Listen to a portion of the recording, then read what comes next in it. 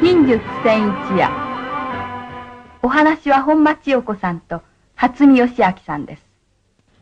皆様こんにちは。本町陽子です。さあ今日も先週に引き続きまして戸隠流忍法34代をお継ぎになっていらっしゃる現代の忍者初見義明先生をご紹介しましょうね。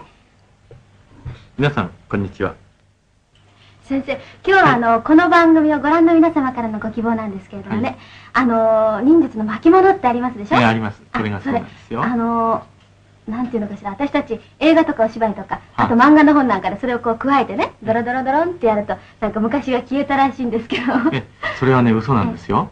でねあのこれは天文の巻物なんですけどね、はい。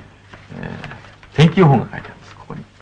ああそうですか、ええそれであのよく霧隠れ才蔵がですねええ昔あの霧が出てくるという、その日を知っていましてね。ええそれで、えー無頓の術を使ったわけですね。それで霧の中へ消えていっちゃうというようなことを予知してですねそうですか。えやったわけですね。だからもう一つはねこの中にいろんな忍術の道具のことやですねそれからいろいろな実のことが書いてあるんです。えあそれでまあ一応おいろんな珍しい技が自分で編み出したらですねええ。そこへ書いておいてまあ後世の人に残すということもしたわけですね。言うなればまあ忍者の卒業証書みたいなですよこれはね。ああそうですか。それじゃ先生あのなんかこんなことしてドロドロドロンってやるのありますでしょ？あれは本当なんですか？まあまあ本当なんですよ。それでねあの呪文と血印を結んでですねの自分の精神力を強くしてですねそれでいろいろな行動をするわけなんですえ呪文と欠員ってえこういうふうなねえ。これが血印なんです。それでこの時過去来投資悪魔不動というと敵が動かなくなったりするわけですね。それからこういうやつとかね。うん。それからこういうやつでカモアと唱えてですね。こう見るとね暗黒投資術って言ってね暗闇でもねあの敵が見えるわけです。